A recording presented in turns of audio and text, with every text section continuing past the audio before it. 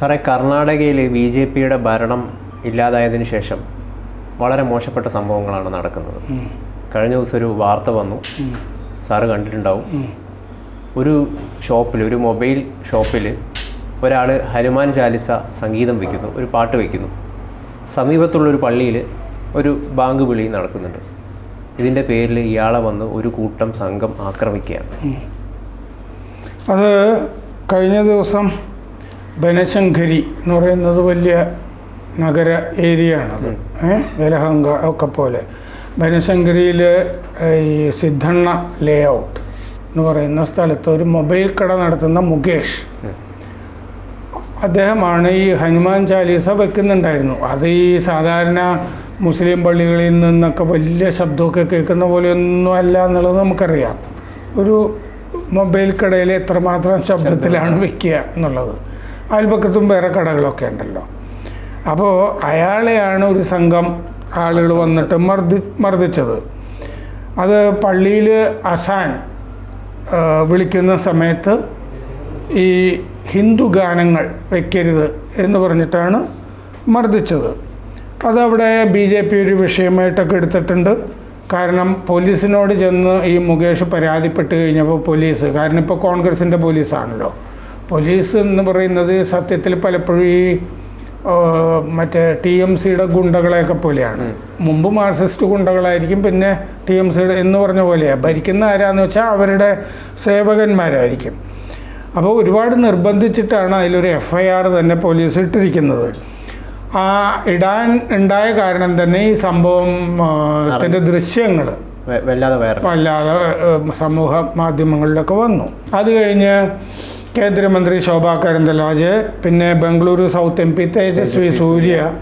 ഇവരെല്ലാവരും കൂടി കാവി ഷോളക്കണിഞ്ഞ് ഹനുമാൻ ചാലീസ ആലപിച്ചുകൊണ്ട് അവിടെ പ്രതിഷേധമൊക്കെ നടത്തി. അതും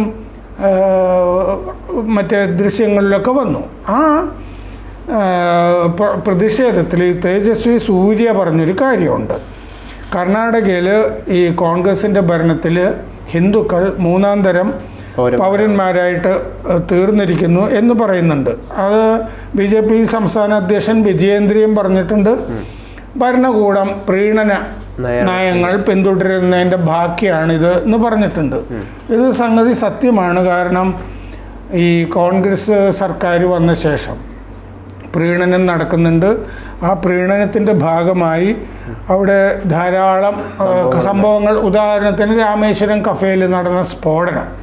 പാകിസ്ഥാൻ.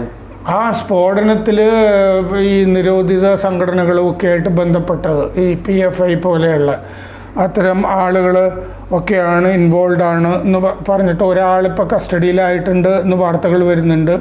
നേരത്തെ ആന്ധ്ര കടപ്പ ജില്ലയിൽ നിന്ന് ചില ആളുകൾ കസ്റ്റഡിയിലായിരുന്നു. അതുമായി ബന്ധപ്പെട്ട് തന്നെ ഈ പരപ്പന അഗ്രഹാര ജയിലിൽ കഴിയുന്ന തടിയന്റെ അവിടെ നസീർ. ജയിലിൽ വെച്ച് നടന്ന ഒരു ഗൂഢാലോചനയും ആയി ബന്ധപ്പെട്ട് ഏഹ് പിന്നീട് പുറത്തിറങ്ങിയ ചില ആളുകൾ അതുമായി ബന്ധപ്പെട്ടവരെയൊക്കെ പിടിച്ചിട്ടുണ്ട്. പിന്നെ സർക്കാർ തലത്തിൽ കഴിഞ്ഞ ദിവസം മറ്റേ ഒരു ബില്ല് കൊണ്ടുവന്നിരുന്നു. അതായത് ഹിന്ദു ക്ഷേത്രങ്ങൾ അത് മറ്റേ ഒരു കോടി വരുമാനം ഉണ്ടെങ്കിൽ അതിന്റെ മുകളിലുണ്ടെങ്കിൽ പത്ത് ശതമാനം ടാക്സ് അതിന്റെ താഴെ അമ്പത് ലക്ഷമാണെങ്കിൽ അഞ്ച് ശതമാനം. അങ്ങനെ ഈ ക്ഷേത്രങ്ങൾക്ക് നികുതി ഏർപ്പെടുത്തുക. ക്ഷേത്രങ്ങൾക്ക് നികുതി നികുതി ഏർപ്പെടുത്തിയിട്ട് ഒരു കോമൺ പൂൾ ഫണ്ട് ഉണ്ടാക്കുക. ആ ഫണ്ട് കൊണ്ട് പലതും ചെയ്യുമെന്ന് പറയുന്നു. പക്ഷേ ആ കോമൺ പൂൾ ഫണ്ടിന്റെ മാനേജിങ് കമ്മിറ്റിയിലും മറ്റു മതസ്ഥരും ഉണ്ടാകും എന്ന് പറഞ്ഞിട്ടുണ്ട്. ഇതൊക്കെ പ്രീണനത്തിന്റെ ഭാഗമാണ്. അതുപോലെ മംഗലാപുരത്ത് ഹജ്ജ് ഹൗസ് പണിയാനായിട്ട് വിലയിരുത്തിയിട്ടുണ്ട്. മുന്നൂറ്റി അമ്പത്തി ആറ് കോടി രൂപയോളം ബജറ്റിൽ ന്യൂനപക്ഷ ക്ഷേമത്തിന് വകയിരുത്തിയിട്ടുണ്ട്. ഹിന്ദുക്കൾക്ക് വേണ്ടിയിട്ടുള്ള കാര്യങ്ങളൊക്കെ ഈ വെട്ടി കുറച്ചുകൊണ്ടൊക്കെയാണ് ഇത് ചെയ്തുകൊണ്ടിരിക്കുന്നത്. അപ്പോൾ ഈ പ്രീണനത്തിന്റെ ഭാഗമായിട്ട് പല കാര്യങ്ങളും നടക്കുന്ന കൂട്ടത്തിലാണ് ഒരു ട്രാക്ടർ ഒരു സ്കൂളിന്റെ അടുത്ത് പാർക്ക് ചെയ്തിരുന്നതിന്റെ അകത്ത് സ്ഫോടക വസ്തുക്കൾ ഒക്കെ കഴിഞ്ഞ ദിവസം കണ്ടെത്തിയിരുന്നു. പിന്നെ വിധാൻസഭയിൽ പാക് സിന്ദാബാദ് എന്ന് പറഞ്ഞിട്ടുള്ള മുദ്രാവാക്യം വിളി. അങ്ങനെ ഈ ന്യൂൻ ശോഭാ കരന്തലാജ തന്നെ രാമേശ്വരൻ കഫേ സംഭവത്തിനെ പറ്റി പറഞ്ഞത് കൃഷ്ണഗിരി. വനത്തിൽ. പരിശീലനം കിട്ടിയ ആളുകളാണ് സ്ഫോടനത്തിന്റെ പിന്നിൽ എന്ന് പറഞ്ഞിരുന്നു. കൃഷ്ണഗിരി അതിർത്തി സ്ഥലമാണ്. കാരണം നമ്മൾ കർണാടകയിൽ നിന്ന് കേരളത്തിലേക്കൊക്കെ വരുമ്പോൾ കാണുന്ന ഒരു സ്ഥലമാണ് കൃഷ്ണഗിരി. പക്ഷേ തമിഴ്നാട്ടിലാണ്. ഏഹ് അപ്പോൾ അതുകൊണ്ട് പിന്നെ തമിഴ്നാടുകാർക്ക് വിഷമം വരും. അവിടെ ട്രെയിൻ ചെയ്തവരാണെന്നൊക്കെ പറഞ്ഞുകൊണ്ട് തമിഴ്നാട്ടിനോട് അവരൊരു മാപ്പ്. അത് നേതൃത്വം പറഞ്ഞിട്ടായിരിക്കും അവർ ചെയ്യുന്നത്. നിങ്ങൾക്ക് എന്തെങ്കിലും വിഷമം ഉണ്ടായിട്ടുണ്ട് അതിന്റെ കൂട്ടത്തിൽ കേരളവും ഈ പ്രകടനം നടത്തുന്നതിനെ പറ്റിയൊക്കെ അവർ പറഞ്ഞിരുന്നു. ആ കാര്യത്തിൽ അവർ മാപ്പും പറഞ്ഞിട്ടില്ല. കാരണം കേരളം ഇതിന്റെ കൂടെ തന്നെ ഈ കർണാടകയിലോ മറ്റോ ഇതിനു മുമ്പും അവിടെ ഒരു ഓട്ടോറിക്ഷയിൽ ഗ്യാസ് സിലിണ്ടർ കൊണ്ടുപോയ ആ സംഭവത്തിലൊക്കെ സ്ഫോടനത്തിന് മുമ്പ് തന്നെ ഒരു ആക്സിഡന്റ് ഉണ്ടായതുകൊണ്ട് പിടിയിലായതാണ്. അങ്ങനെ ഉള്ള പല ആളുകളും ഈ കേരളത്തിലുമൊക്കെ വന്നു ഒക്കെ ട്രെയി ട്രെയിനിന്റെ ഒക്കെ ആയിട്ട് പോകുന്നൊക്കെ ഉണ്ട്. ഇപ്പൊ കഴിഞ്ഞ ദിവസം നമ്മൾ ഈ സിദ്ധി കാപ്പൻ ആ അതെ. അപ്പോൾ ആ സംഭവത്തിൽ തന്നെ ആ രണ്ടു പേരെ ഇവിടെ അൻഷാദ് ബദറുദ്ദീൻ ഫിറോസ് ഖാൻ എന്നിവർ തന്നെ ഇവിടുത്തെ ഒരു സ്കൂളിൽ ഏ? ആണ് അവർ ട്രെയിൻ ചെയ്തത് എന്ന് പറഞ്ഞിട്ടുണ്ടായിരുന്നു. പി വൈ എഫ് ഐയുടെ നേതൃത്വത്തിലുള്ള വാലി അക്കാഡമി ആ അതെ മഞ്ചേരിയിലോ മറ്റോ ഉള്ളത്. ഏ. ഗ്രീൻ വാലി അക്കാഡമി ആ അക്കാഡമി ഇപ്പോൾ പൂട്ടിയിട്ടുണ്ട്. കാരണം അതിനുശേഷം കേന്ദ്ര ഏജൻസികളൊക്കെ ഇടപെട്ടിട്ട് പൂട്ടിയിട്ടുണ്ട്. പിന്നെ ഇവിടെ ഈ ട്രെയിനിൽ നടന്നിട്ടുള്ള ഭീകരമായ ആക്രമണം ഒരാളെ അതിൽ പിടിച്ചിട്ടുള്ളൂ എന്നൊക്കെ നമുക്കറിയാം. ഇങ്ങനെ ഈ പല എസ് എഫ് ഐ അക്രമങ്ങളിൽ ഈ പി എഫ് ഐയുടെ ഇൻവോൾവ്മെന്റ് ഉള്ളത് നമുക്കറിയാം. ഈ അഭിമന്യുവധം രഞ്ജി ശ്രീനിവാസൻ ഇങ്ങനെ കേരളത്തിൽ ഇതൊക്കെ ഈ കർണാടകയിൽ P Y P F I P popular ഫണ്ടിന്റെ അക്രമങ്ങൾ നടക്കുമ്പോഴൊക്കെ ഈ അതിപ്പോൾ ലക്നൗവിലാണെങ്കിലും പിന്നെ സിദ്ദിഖാപ്പൻ രണ്ടുപേരെ ബി ജെ പി നേതാക്കളെ കൊല്ലണം എന്ന് പറഞ്ഞ് കില്ലർ സ്ക്വാഡിനെ ഏൽപ്പിക്കുമ്പോൾ അങ്ങനെ ഡൽഹിയിൽ പോകുമ്പോൾ അതല്ലെങ്കിൽ സി ഐ എക്കെതിരായ പ്രൊട്ടസ്റ്റുകൾ ഷാൻ ഇങ്ങനെ എവിടെ എന്തൊക്കെ ഇതുമായി ബന്ധപ്പെട്ട് സംഭവങ്ങൾ ഉണ്ടാകുമ്പോൾ ഇതിന്റെ അകത്തൊക്കെ മലയാളികൾ ഉണ്ടാവും എന്നുള്ളത് പറയാറുണ്ട്. ഈ രാമേശ്വരം കഫേ ഇൻസിഡന്റ് ഉണ്ടായപ്പോഴും കേരളത്തിൽ കേരള പോലീസിനെ ബാംഗ്ലൂർ പോലീസ് അലർട്ട് ചെയ്തിരുന്നു. ഇവിടുന്ന് ധാരാളം ഇതൊക്കെ പോയിരുന്നു. അപ്പോൾ ഈ മുസ്ലിം പ്രീണനം എന്നുള്ളത് കേരളത്തിലെ പോലെ തമിഴ്നാട്ടിലെ പോലെ തമിഴ് തമിഴ്നാട്ടിലെ പോലെ ഈ സൗത്ത് ഇന്ത്യൻ സംസ്ഥാനങ്ങളിലേക്ക് ഒരു പൊതു സംഭവമായിട്ട് നമുക്ക് കാണാം. പ്രത്യേകിച്ച് കോൺഗ്രസ് ഭരണമുള്ള സ്ഥലങ്ങളിൽ. അത് അവരുടെ കോൺഗ്രസിന്റെ തന്നെ ഒരു നയത്തിന്റെ ഭാഗമായിട്ടാണ് ഈ പ്രീണനം വരുന്നത്. അതാണ് ഇപ്പോൾ ഡി കെ ശിവകുമാർ സിദ്ധാരാമയൊന്നും ഈ വിഷയത്തിൽ ഇപ്പൊ ഒന്നും പ്രതികരിച്ചിട്ടില്ല. അദ്ദേഹം പ്രതികരിക്കാത്ത എന്താന്ന് വെച്ചാൽ ഡി കെ ശിവകുമാറിനെ അദ്ദേഹത്തിന് ഇഷ്ടമല്ലല്ലോ. അപ്പോൾ ഡി കെ ശിവകുമാറാണ് ഈ പ്രീണനത്തിന്റെ ഒരു. പതാക വാഹകൻ എന്നൊക്കെ പറയാം.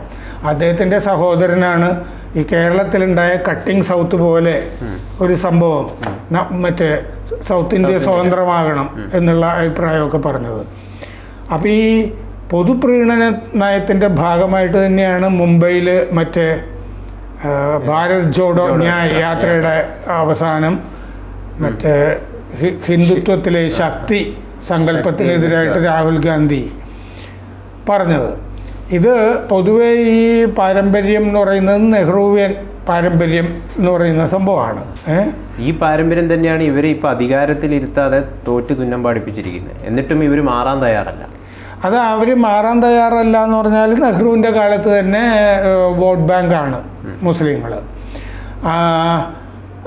ആ കുടുംബത്തിന് പലതരത്തിലും മറ്റേ ഇസ്ലാമുമായിട്ട് ബന്ധമുണ്ട് എന്നുള്ളത് നമുക്കറിയാം.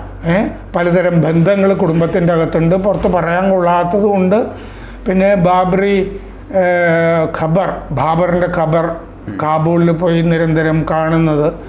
പിന്നെ ഫിറോസ് ഗാന്ധി. ആയിട്ടുള്ള ബന്ധം. മുഹമ്മദ് യൂനിസ് ഇതിനു മുമ്പ് വിജയലക്ഷ്മി പണ്ഡിറ്റ് ഒരു യാക്കൂബ് ഹസൻ എന്ന് പറഞ്ഞ ഒരാളുമായിട്ട് പ്രണയത്തിലായിരുന്നത്. അത് ഗാന്ധിയൊക്കെ ഇടപെട്ടിട്ടാണ് വേണ്ട എന്നൊക്കെ വെച്ചത്. അവരത് കഴിഞ്ഞ് യു എനിൽ പ്രതിനിധിയായിട്ട് തിരിച്ചു വരുമ്പോഴും യാക്കൂബ് ഹസന്റെ ഖബർ ഈജിപ്തിലാണ് കെയ്റോയിൽ അവർ കെയ്റോയിൽ ഇറങ്ങി ആ ഖബറിൽ പോയ.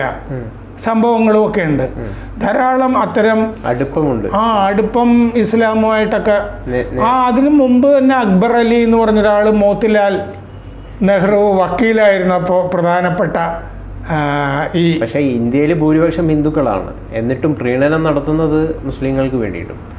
ആ അത് അവരെന്താന്ന് വെച്ചാൽ അദ്ദേഹത്തിന്റെ മതേതരത്വം ഈ മതേതരത്വം എന്ന് പറഞ്ഞു കഴിഞ്ഞാൽ മുസ്ലിം പ്രീണനമാണെന്നൊരു തെറ്റിദ്ധാരണയുണ്ട്.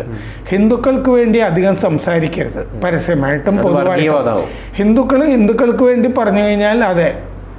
വർഗീയവാദാവും. വർഗീയവാദമാവും ഹിന്ദുക്കൾ മിണ്ടാതിരുന്നു കഴിഞ്ഞാൽ അത് സഹിഷ്ണുതയും ആവും. സഹിഷ്ണുതയാവും സെക്യുലറിസവും ആവും. സത്യത്തിൽ ഈ സെക്യുലറിസം എന്ന് പറയുന്ന ഇത് തന്നെ ഒരു പടിഞ്ഞാറൻ ആശയമാണ്. ആയിരത്തി തൊള്ളായിരത്തി അഞ്ചിൽ ഒരു മതവിശ്വാസി അല്ലാത്തൊരു പത്രാധിപര് ചെറുകിട പത്രത്തിന്റെ ഏഹ് ഇവിടെയൊക്കെ ചെറിയ പത്രങ്ങളൊക്കെ അല്ലേ? അതുപോലെ ജയിലിലൊക്കെ ആയി തിരിച്ചു വന്നിട്ടൊരാൾ ഉണ്ടാക്കിയ വാക്കാണ് ഈ സെക്കുലറിസം എന്നുള്ളത്. അധികം പഴക്കമൊന്നുമില്ല.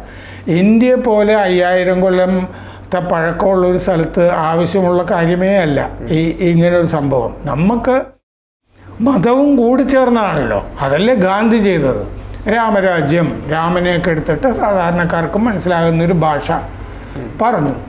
അതേസമയം മതേതരത്വം ഹിന്ദുക്കളും ഉണ്ടാതിരിക്കുക എന്ന് പറയുമ്പോൾ തന്നെ മുസ്ലിങ്ങൾ മതരാഷ്ട്രവാദം പറയുമ്പോഴും അത് സെക്യുലറിസമാണെന്നാണ് ഈ കർണാടക നേതൃത്വവും കോൺഗ്രസിന്റെ ദേശീയ നേതൃത്വവും. ഖാർഗെയുടെ സ്ഥലമാണല്ലോ A I C C president Karnataka. അവരും ഒക്കെ പറയുന്നത്. അപ്പോൾ ഇതിന്റെയൊക്കെ ഈ പ്രീണനത്തിന്റെ പരിണത ഫലമാണ് സത്യത്തിൽ ഇവർ നിർബാധം ഈ നിരോധിത മുസ്ലിം സംഘടനകൾ ഇപ്പോൾ വേറൊരു കാര്യം പറയാനുള്ളത് എന്താണെന്ന് വെച്ചാൽ രണ്ടായിരത്തി പതിനാറിൽ രുദ്രേഷ് എന്ന് പറഞ്ഞിട്ട് നഗര കാര്യവാഹ് ആർ എസ് എസിന്റെ അവിടെ കൊല്ലപ്പെടുകയുണ്ടായി. ആ അദ്ദേഹത്തിനെ കൊന്നതും ഈ പി എഫ് ഐക്കാരാണ്. അതിലൊരാളെ ഇപ്പോഴേ പിടിച്ചിട്ടുള്ളൂ. ഗൗസ് നയാസി എന്ന് പറഞ്ഞ ഒരാൾ ആഫ്രിക്കയിൽ പോയിട്ട് N I A N I എക്ക് പുറത്തു പോകാമല്ലോ. എൻ ഐ എ ഇപ്പോഴാണ് അതിൽ പ്രധാനപ്പെട്ട പ്രതി ഗൗസ് നയാസിനെ പിടിച്ചുകൊണ്ട് വന്നിരിക്കുന്നത്. ഏ? അപ്പോൾ അത് ബാംഗ്ലൂരിൽ പ്രധാ നടന്ന ബാംഗ്ലൂരിലെ പ്രധാനപ്പെട്ട നേതാവാണ് നഗരത്തിലെ നേതാവാണ് രുദ്രേഷ്. അദ്ദേഹത്തിന് കൊന്നതും ഈ സംഘങ്ങളാണ്. അപ്പോൾ ഇതുപോലെ സ്ഥലങ്ങളിൽ അതായത് മുസ്ലിങ്ങൾ അത്യാവശ്യമൊക്കെ ഉള്ള സ്ഥലങ്ങളിൽ കേരളത്തിലായാലും കൊള്ളാം കർണാടകയിലായാലും കൊള്ളാം ആന്ധ്രയിലായാലും തെലുങ്കാനയിലും ഒക്കെ. ഈ പ്രീണനം. അതാണ് ഇപ്പം ഇപ്പം ആസാൻ വിളിക്കുന്നു അപ്പം ഇപ്പുറത്തെ ഒരു കടയിൽ എന്താ ഹനുമാൻ ചാലിസ പാട്ട് വയ്ക്കുന്നു നമ്മുടെ കേരളത്തിലും ഈ പെരുന്നാൾ സമയങ്ങളിലും നോമ്പ് കാലത്തൊക്കെ മലപ്പുറത്തെ പല ഹിന്ദു കടകളും നിർബന്ധപൂർവം അടപ്പിക്കാറുണ്ട് അടപ്പിക്കാറുണ്ട്. ഞാനത് കോഴിക്കോട് നിന്ന് കാറിൽ വരുമ്പോഴൊക്കെ ഭക്ഷണം കിട്ടാനൊക്കെ കുറേ വർഷങ്ങൾക്ക് മുമ്പ് തന്നെ പ്രയാസപ്പെട്ടിട്ടുണ്ട്. എല്ലാ കടകളും അടച്ചിട്ടുണ്ടാവും ആ. ഭാഗത്ത്. പിന്നെ ഈ മുസ്ലിം പള്ളികളിൽ വലുതായിട്ട് മൈക്ക് വയ്ക്കാറുണ്ടല്ലോ. ഏ? വലിയ ശബ്ദത്തിലാണ് അത്. പക്ഷേ ഈ ഹിന്ദു ക്ഷേത്രങ്ങളിലൊക്കെ വലിയ തോതിൽ മയക്ക് വയ്ക്കരുത് എന്നൊക്കെ കോടതി വിധിയൊക്കെ ഉണ്ടായിട്ടുണ്ട്. അത് ഈ മുസ്ലിങ്ങൾക്ക് പൊതുവെ ബാധകമല്ലാത്ത വിധത്തിലാണ് ഇത്. ഇപ്പോൾ നൂറുൽ ഇസ്ലാം എന്ന് പറഞ്ഞിട്ട് സന്ദേശ് ഖലി ഉൾപ്പെടുന്ന ബസീർ ഹട്ട് ലോക്സഭാ മണ്ഡലത്തിൽ ഇപ്പോൾ ടി എം സി സ്ഥാനാർത്ഥിയാക്കിയിരിക്കുന്ന ആൾ അവിടെ ഒരു പിന്നെ ഹിന്ദു ക്ഷേത്രങ്ങൾക്കെതിരെ ഒക്കെ ഒരു ആക്രമണം നടത്തുകയുണ്ടായി. രണ്ടായിരത്തി പത്തിൽ ഒരു ഹിന്ദു വിരുദ്ധ കലാപം തന്നെ നടത്തിയ അയാളും അഞ്ഞൂറ് പേരെ അടങ്ങുന്ന സംഘവും. അദ്ദേഹം അവിടുത്തെ മുസ്ലിങ്ങൾക്ക് വാക്ക് നൽകിയിരുന്നു എന്നാണ് പറഞ്ഞത്. പള്ളിയുടെ മുകളിൽ മൈക്ക് വയ്ക്കുമെന്ന് അപ്പം മൈക്ക് വെക്കാൻ വേണ്ടിയിട്ടുള്ളൊരു കലാപം നടന്നതാണ് അവിടെ. ഇത്തരം കലാപങ്ങൾ നടന്നുകൊണ്ടിരിക്കുമ്പോഴാണ് ഈ ഹനുമൻ ചാലിസ. അത് ഈ മുകേഷ് എന്ന് പറഞ്ഞ കടക്കാരനോട് ശാന്തമായി പറഞ്ഞാൽ അദ്ദേഹത്തിനും മനസ്സിലാകുന്നതാണ്. അല്ലെങ്കിൽ വേറെ ആളുകളെ ഇടപെടുവിച്ച് വലിയ ശബ്ദത്തിലൊന്നും അയാൾ വെച്ചിരിക്കാൻ സാധ്യതയില്ല. വലിയ ശബ്ദത്തിൽ വെച്ചാൽ ഹിന്ദുക്കൾ നടത്തുന്ന കടക്കാർ തന്നെ അതിന്റെ മുമ്പിൽ വന്ന് ബഹളം വെച്ചേനെ. ആണല്ലോ. നമ്മളും അയൽപക്കത്തു നിന്ന് വലിയ ശബ്ദത്തിൽ പാട്ടൊക്കെ കേട്ട് കഴിഞ്ഞാൽ ഇടപെടാറുണ്ട്. അപ്പോൾ ഇതുകൊണ്ട് ഈ സംഭവിച്ചിരിക്കുന്നത് ഹനുമാൻ ചാലീസയ്ക്കെതിരായ അത് ഹിന്ദുക്കൾക്കെതിരായ ഒരു പ്രതിഷേധമായിട്ട് വേണം കാണാൻ. ഹിന്ദുത്വത്തിനെതിരായ പ്രതിപക്ഷമാണ്. അതുപോലെ അടുത്ത കാലത്ത് നിൽക്കുകയാണ് കോൺഗ്രസ്. ആ കോൺഗ്രസ് അത് എന്തുകൊണ്ടാണെന്ന് വെച്ചാൽ ഇന്ത്യയിലെ ആകെ അയോധ്യയിലെ പ്രാണപ്രതിഷ്ഠയ്ക്ക് ശേഷം ഒരു ഹിന്ദു നവോത്ഥാനം ഉണ്ടായിട്ടുണ്ട്. അത് കോൺഗ്രസ്സിന് ഇഷ്ടപ്പെടുന്നില്ല. അപ്പോൾ കോൺഗ്രസിന്റെ ക്യാമ്പിൽ നിന്ന് അവരുടെ പരമ്പരാഗത ഹിന്ദു വോട്ടുകൾ ചോരുന്നു. അപ്പോൾ ഹിന്ദുക്കളെ നമുക്ക് ആവശ്യമില്ല. നമുക്ക് മുസ്ലിങ്ങൾ മതി. എന്ന് വിശ്വസിച്ചതിന്റെ പ്രത്യാഘാതമാണ് ഈ. സംഭവിച്ചിരിക്കുന്നത്. കൂടുതൽ വാർത്തകളും വിശേഷങ്ങളും നിങ്ങളിലേക്ക് എത്താൻ A B C Malayalam subscribe ചെയ്യുക. ബെൽബട്ടനും അമർത്തുക.